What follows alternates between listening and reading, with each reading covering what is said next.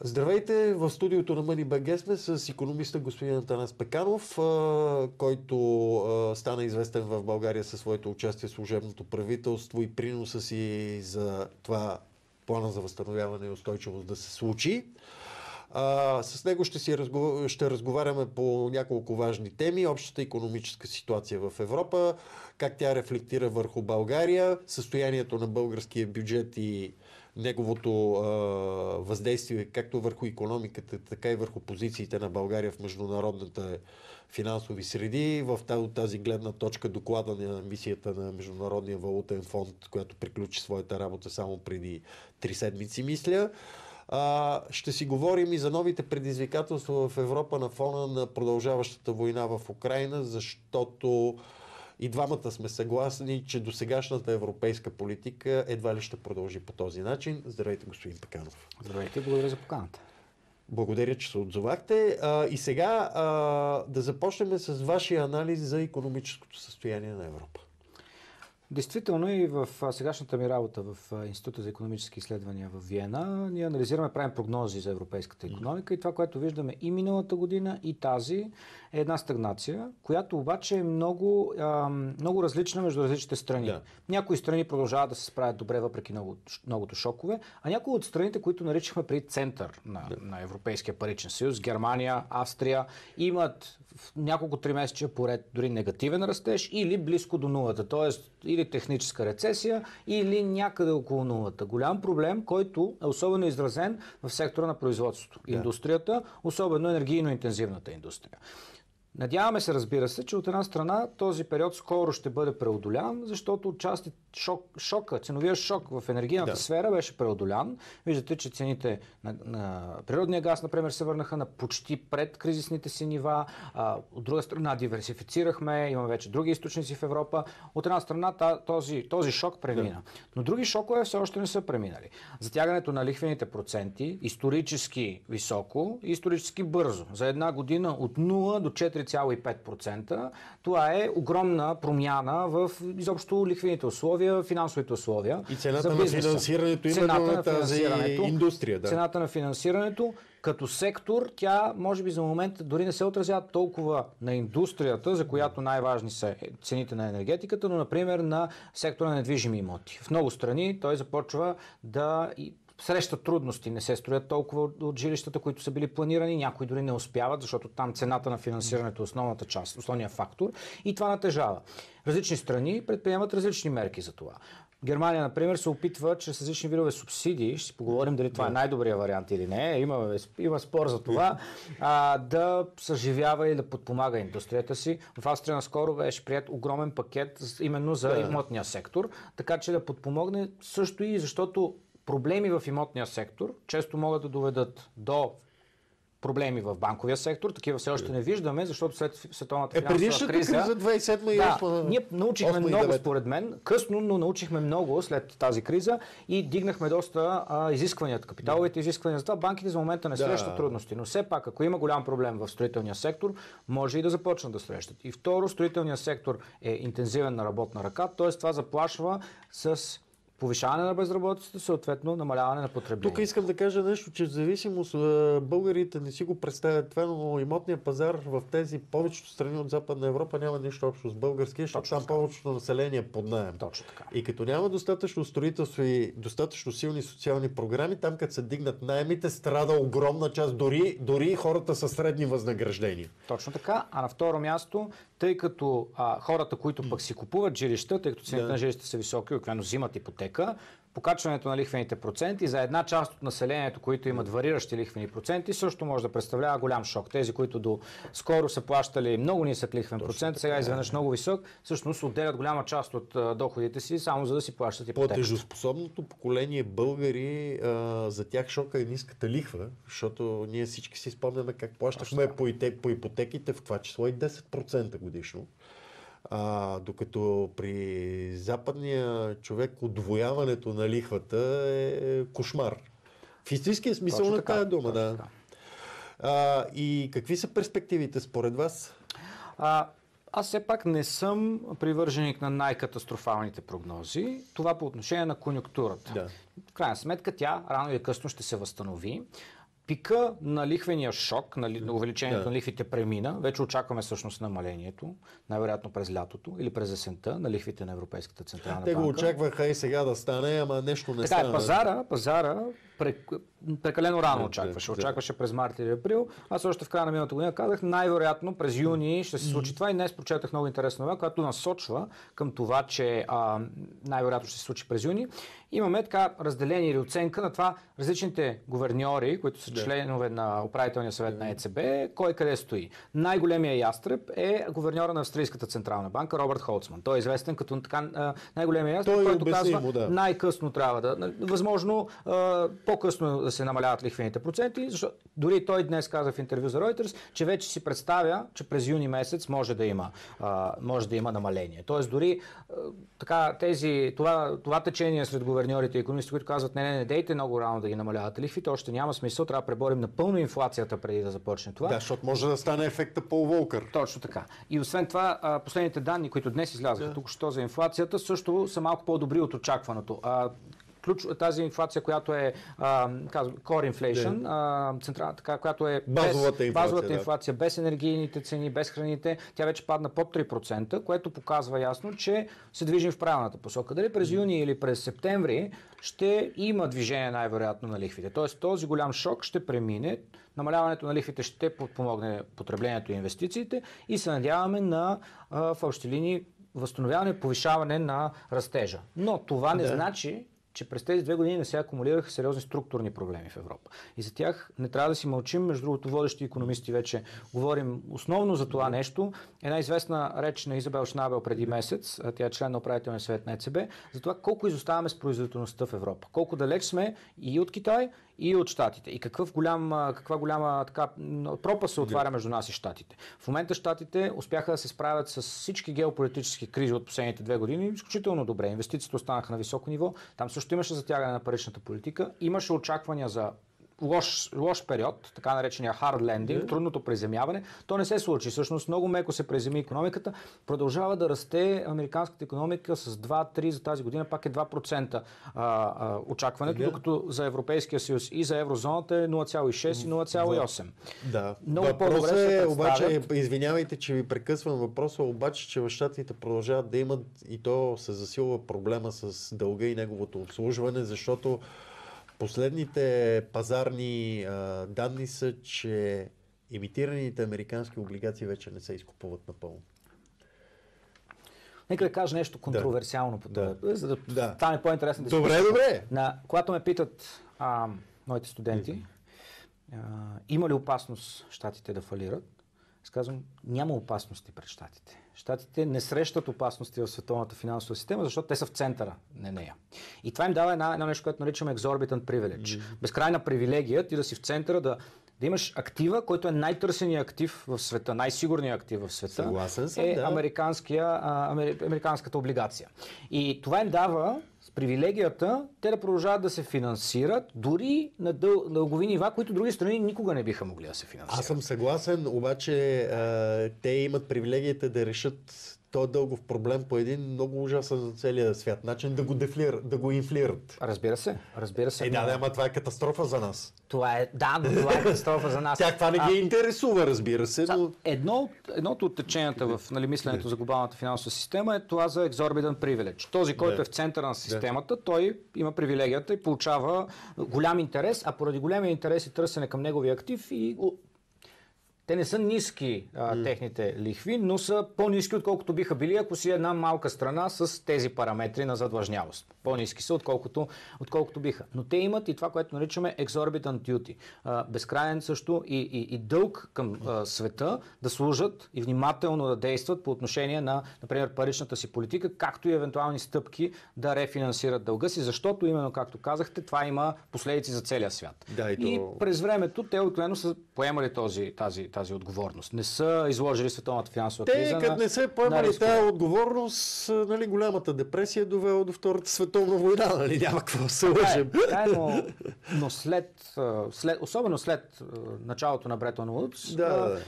хегемона е този, който определя и успява да задържи световната финансова система такава каквато е а, и, се, и, и печели от това. Да, А, печели от това. Добре, да минем на втората тема.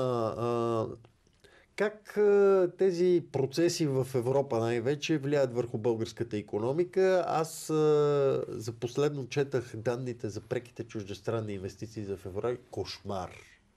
Кошмар. Значи това, което се хвали правителството да са ни живи и здрави, вече дали да са правителство, с огромния ръст на, чуж... на преките инвестиции, ма те не са чуждестранни. Това е рекапитализираната печалба на банките, на които, които, на които всички завиждаха. Това са пари спечелени, произведени в България.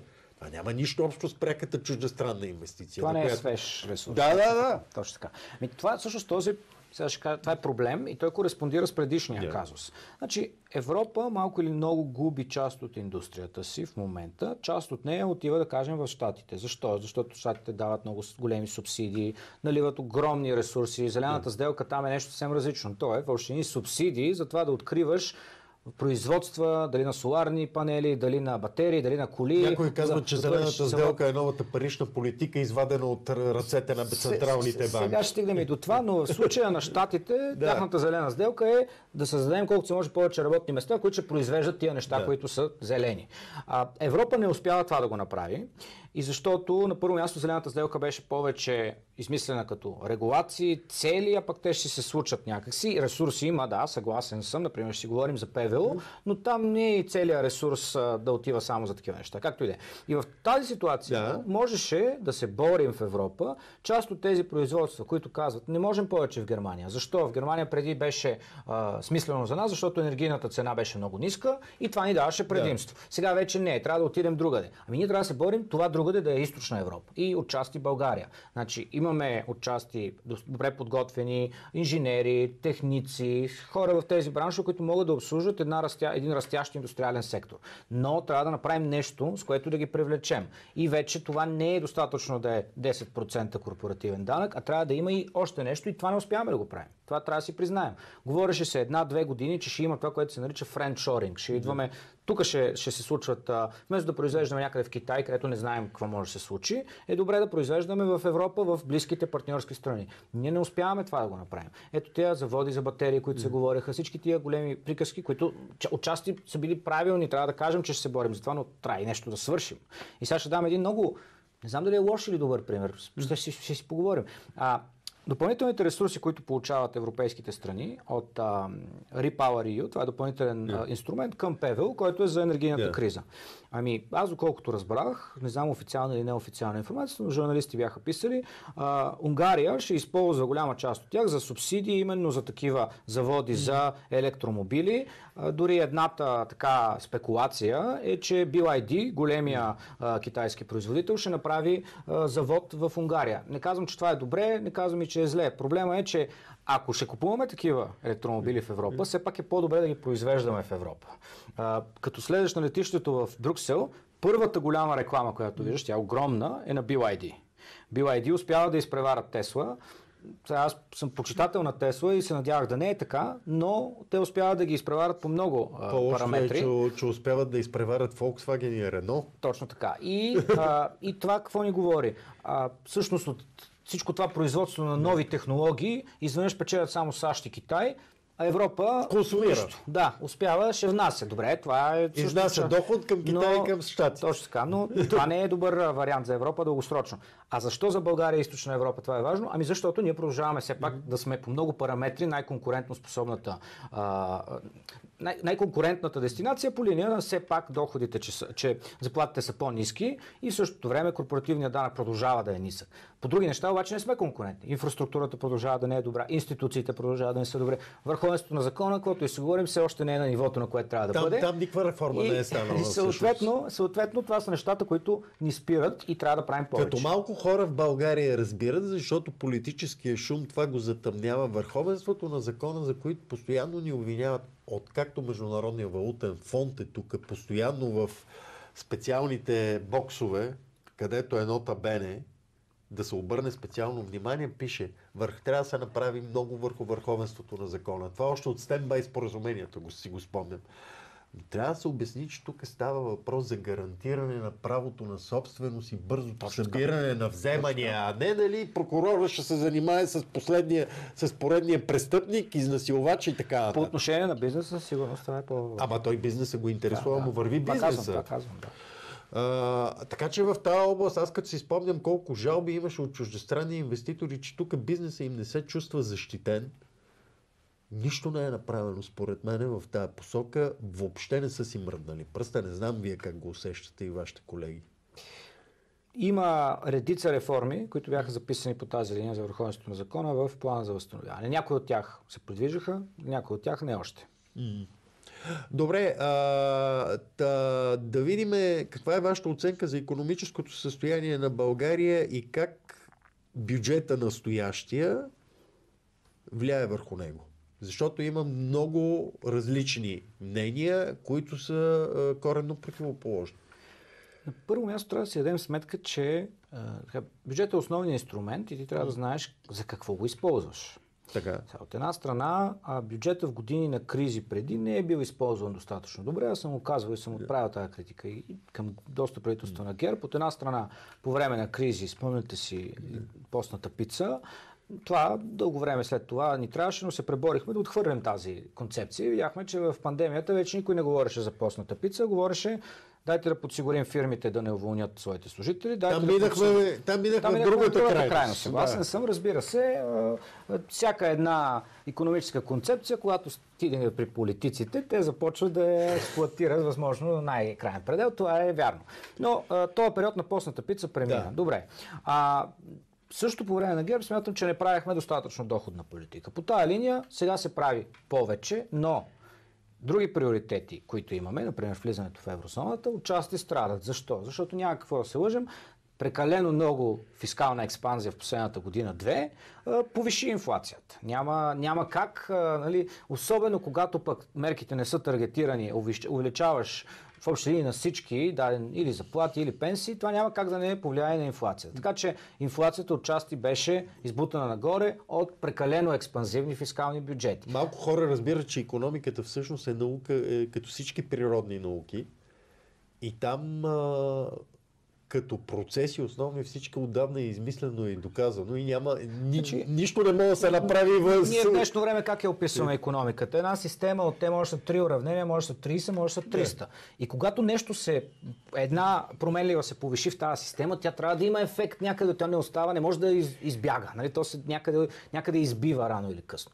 Разбира се, ти можеш да го сложиш далеч във времето да избие и тогава няма да го видиш да, сега, но ще избие. но някои ваши бивши колеги, защото ви бяха колеги, които управляват, създадоха и управляват сегашния бюджет, доскоро го управляваха по-скоро, твърдят, че ние сме уникална държава, където бюджетния, високия бюджетен дефицит не създава инфлация.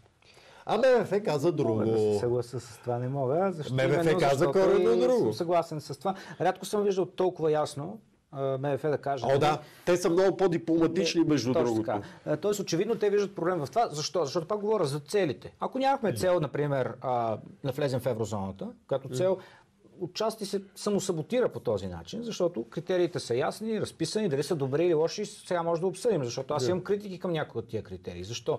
Ами защото критерия да сме с 1% и половина над най-добре представящите се страни, той означава едно нещо, когато инфлацията беше 1-2%. Да, нали? да си с 1,5 над 1% беше или по-лесно. отрицателна. Да, или отрицателна. А друго е, когато сега миналата година а, варираха между 10-15, в някои страни бяха 18% mm. инфлацията, тогава е малко по-трудно да си с 1,5 над тях. Така че аз това съм го казвал много пъти на Европейската комисия, но в крайна сметка Проблема те казват, е, че България правила, почти... те са записани да. и трябва Проблема да ги Проблема е, че България почти никога не е била в този критерий критерии. За съжаление. Така, така. А, тук, значи, трудно, този критерий, отчасти, ам, той защо е сложен? Защото, когато ти си една економика, която наваксва, е нормално да имаш по-висока инфлация. Но до някаква Съгласен степен. съм. Затова е решено 1,5 на... Съгласен съм, но последното решение по заседание на Еврогрупата, мисля, са се отказали тази година да има изключение. Значи, Което, нали, сещате че, за нас, какво значи? А, няма няма много перспективи обещаваното влизане на 1 януари 2025 да стане, именно защото ясни сигнали бяха дадени, вие няма да покриете критерии, ние не можем да направим друга, такова изключение. Друга въпрос е дали няма да нарушим и критерия за дефицит спрямо БВП. Аз чух за тези притеснения, нека да видим данните. Да, От да. тях няма още да Каквото каже, значи, може да си говорим, каквото искаме, каквото каже Евростат, това ще е.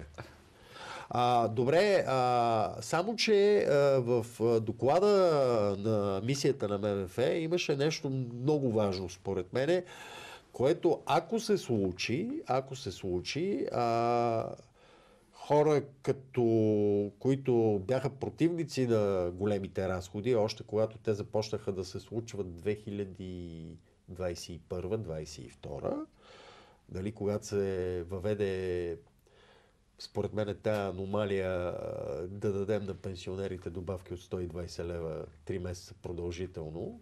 Нали? Това е на Герб идеята. Отвориха котията на Пандора, между другото. Трябва да сме справедливи.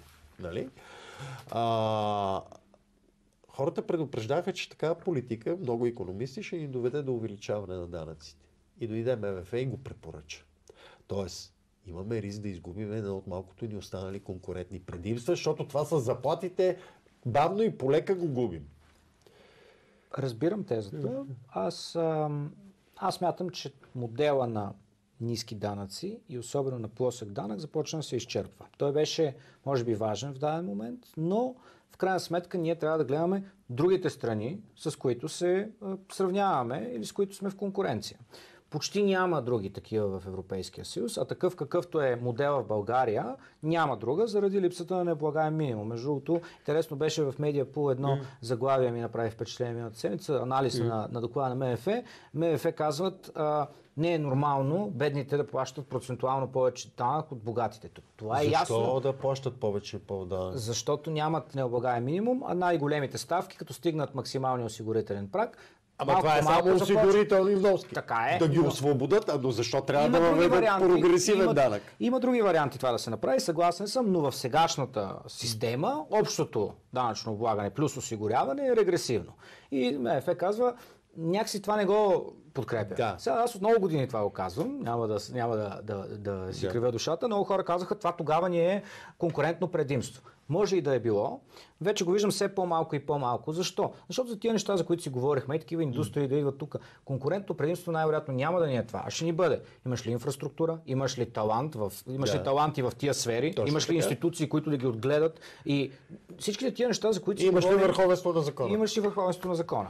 Няма да се преборим, според мен, с другите големи страни, с другите страни около нас, само защото имаме а, ниски данъци. От друга страна, вече трябва да решим по кой модел вървим. Значи, или ниски разходи и ниски данъци, това беше до сега. Има, може би, някои позитиви, аз виждам и много негативи, защото те не позволяват дългосрочни инвестиции, публични инвестиции, отчасти това не помага и на частните инвестиции. Ето да дадем пример.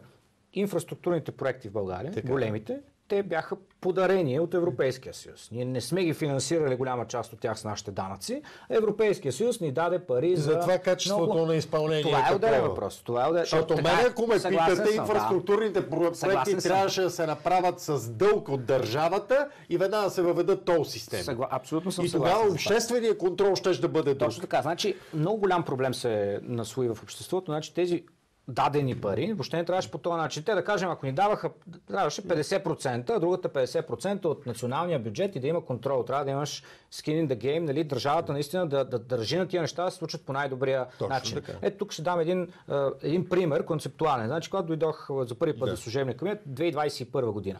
Голям спор имаше между експерти, които бяха останали и с годините бяха, нали, бяха по един начин виждаха нещата по отношение Да. на енергийната ефективност, която тогава наричахме саниране. И Европейската комисия ясно каза и моята лична политическа воля беше трябва с времето да ведем съфинансиране. Сега, ГЕРБ винаги се казва, не може да има съфинансиране, най-добре е всичко да се, да се направи или от държавата, или от Европейската Да, да, комисия. да, да, да. Не трябва да накараш хората да имат участие в това нещо, за да ги е грижа, за да гледат всеки ден добре ли се строи това, някой ефтин, ефтино ли ни го прави, хубаво ли ни го прави. Трябва хората да са включени в това и всъщност съфинансирането е такъв метод. Именно. По същия начин и с голяма част от, примерно, европейските пари, трябва държавата да участва активно и после, точно както казахте, единия вариант е то системи, които, защото сега, тези магистрали, да, има винетки, но винетките те не контролират кой знае колко, колко ти употребяваш. Това е класическия проблем на публичните блага. Значи, всъщност богатия ще използва магистралата най-вероятно всяка седмица, защото ще ходи на морето. По-бедния по-малко. Значи трябва да вземеш това, който е използва, защото той Именно. амортизира, амортизира това употреба. Колкото по-близко можеш да го докараш това, толкова по-добре ще опазиш публичното благо, защото той, който го използва, ще го възстановява финансово, а той, който не го използва, няма да го таксуваш през други данъци. Това е най-оптималната Сега ще се върнем на тая тема, но искам един важен въпрос а, в рамките на 4 минути да обсъдим. А, каква е перспективата за развитие на европейската економика, защото войната поставя явно други цели? Ще остане ли зелената сделка в този вид или ще се мине към друг вид економически фокус? Две неща има тук, според мен е най-важни. Зелената сделка ще бъде ревизирана след европейските избори. Това го виждам със сигурност. Европейската народна партия вече пое такива, такива насоки и ще е хубаво и другите партии да, да усетят защо не е популярна зелената Да. сделка. Отчасти аз го казах вече, защото тя не се вижда като нещо, което ми създава работните места на утрешния ден, в което нещо, което ще работя 20 години, а ми създава проблем, че няма да мога да си купа газов бойлер, че няма да мога да си купа кола с, с двигател. Реално ти намалява стандарта на живот. Да, и пипа в някои свободи, които може би още не сме готови Европейския съюз да ги регулира. Вместо това, тя трябва да бъде инвестиции във всички тия производства. Но освен това, виждам ясно, че част от ресурса, който няма да бъде утилизиран от плановете за възстановяване и устойчивост, не само при нас, всички страни няма да, изпо... да получат целият ресурс. За сравнение, по тия кохезионни фондове, които получаваме, там 95-98% е, са получените средства. Защо? Защото там принципа беше на касовата бележка. Да. Ти строиш нещо, даваш касовата бележка, те проверяват, построил си го, добре, построил си го, ето ти парите. И всички страни от Източна Европа имат висок процент на освояемост. Плановете за възстановяване и устойчивост ти не само трябва да си го построил, трябва да си постигнал нещо с него. Например, построили влак, който се движи с тази скорост, прекарва толкова пътници, е екосъобразен и така. И в същото време направили реформа на БДЖ. И само тогава получаваш пари. Много страни Да. ще имат проблем с това. Ще остане свободен ресурс и част от него ще се пренасочи към най-вероятно обща, обща отбрана. Някакъв вид обща отбрана. В това има смисъл. Защо? Ами най-малко. То се видя защо. Най-малкото общи поръчки на, на отбранителна техника на европейско ниво Да. ще е много по-смислено, отколкото всяка една страна да го прави. Най-малкото от скалирането на това, че всички взимат, ще е по-ефтино. Второ, ще бъдат нещата, ще си пасват различните системи. Няма да имаме 27 национални системи на отбрана с кой има от една техника, кой от друга, кой може да използва, кой не може да използва. Това е важно, защото носи ефективност. И, за съжаление, света е такъв какъвто е. Развива се в една доста по- опасна посока и ние като, евро, като европейци трябва да, из, да Това имаме според вас може ли да донесе ползи на България, защото а, по намеци в, на официални политици а, и по неофициални разговори, ние май сме един от най-мощните производители на боеприпаси. Със сигурност. Със сигурност. Какво да По-мощни от. Германия от и разни други страни. Няма какво да се лъжем. Не е най-доброто според мен, аз съм нали, така настроен, но през 2022 голяма част от економическата активност има, идваше именно от това, че а, военно-промишления сектор а, получаваше много поръчки. Така че това е нещо, което ще продължи и България със сигурност може да, да спечели още от това. Да. Благодаря ви за този коментар. И аз благодаря.